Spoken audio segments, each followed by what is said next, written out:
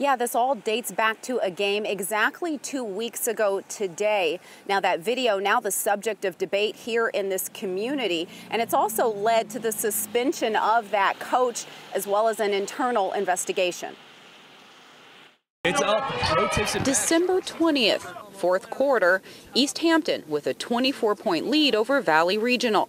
This video, posted on YouTube by Valley TV, shows coach Shaun Russell apparently push a team member into a position on the court. The teenage girl nearly loses her footing. This video garnering more than 11,000 views as of Tuesday afternoon.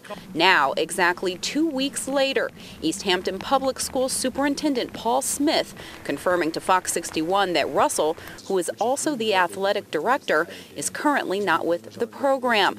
In an emailed statement, Smith said, quote, regardless of the excitement of an athletic contest, we expect our coaches to temper their behavior to represent the high ideals of the East Hampton Public School schools.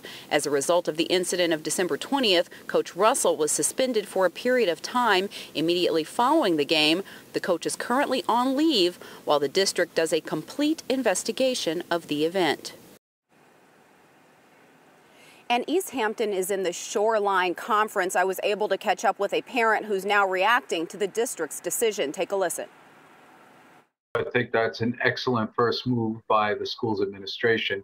The reason why myself and others are outraged is because our daughters have played in that conference and have seen this coach's behavior in the past.